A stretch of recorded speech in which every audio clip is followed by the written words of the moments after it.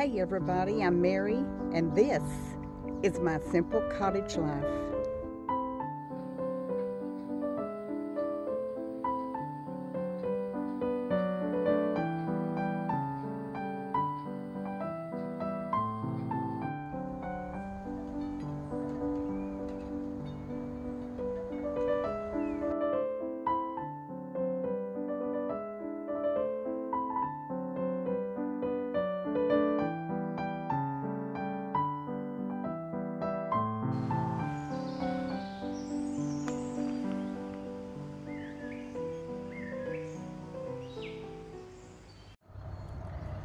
Hey everybody, good morning. I hope everybody is doing well.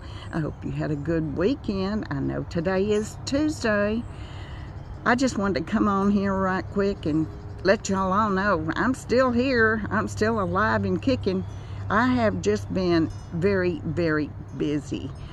I, you know that I have an acre and a quarter that I have to take care of and it's a lot for me. It sure is especially with mowing and weed eating and and cutting clipping the hedges and picking up the sticks and burning things and it just seems like there's always something that has to be done especially during the springtime.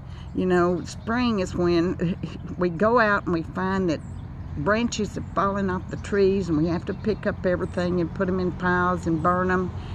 And there is just an awful lot to do. And all of a sudden it just seems like the weeds just just spring up. And it's almost a, a fight to keep those weeds down and to keep everything mowed and clean looking. And I like for things to be neat and tidy. I just do. You can see behind me my little bird sanctuary. Y'all, I am loving that. I love to sit over here and watch my birds. I like to watch them come to their fountain. Now, it's not going this morning because there's no sun on it. It has to charge up a little bit before it can run, but I am loving that little fountain. I'm thinking about doing another one somewhere else. Out here, of course, but I, I just love them. And the birds just flock to that. It's so fun to watch. Let's see. Yesterday I did some mulch moving again. I got about two carts full and then and spread out and then I was worn out.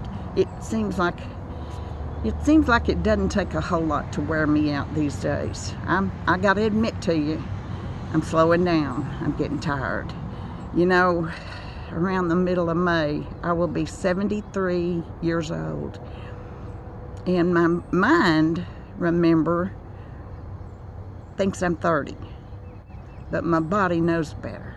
And I am slowing down. It's getting to where each task takes me longer and I get tired more quickly. And that's just the way it is when we start getting older.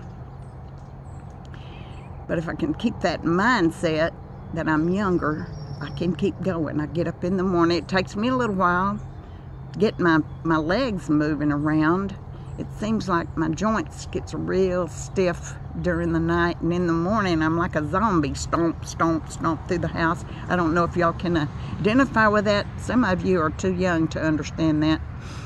But uh, it seems like when you get past 70 you start experiencing you you know that zombie walk is what I call it.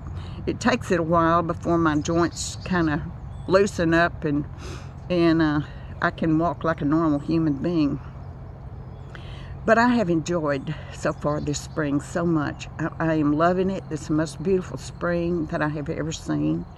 I'm a little worried about my umbrella tree right back here because it is taking a very long, long time for it to put on its leaves. That's not the name of it. That's what I call it because I don't remember what the name of it was.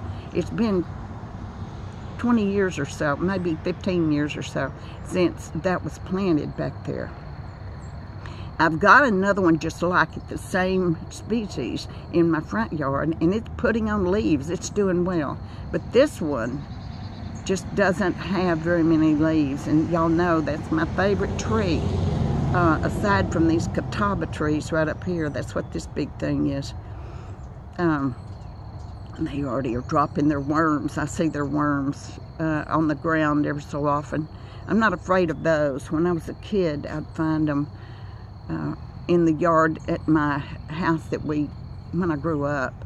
And I'd find them way out from the tree and I'd pick them up and run and take them back. I thought I was taking them home. I can't stand for them to be too far from the tree because I know that the birds and, and so forth get them and that bothers me. I, I can't tell you why. I don't understand. That's the way kids think, you know?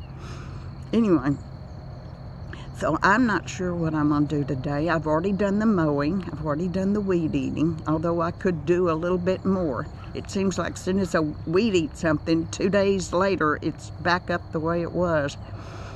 And I've already cleaned my, my uh, fountain. I've already filled up my bird feeders.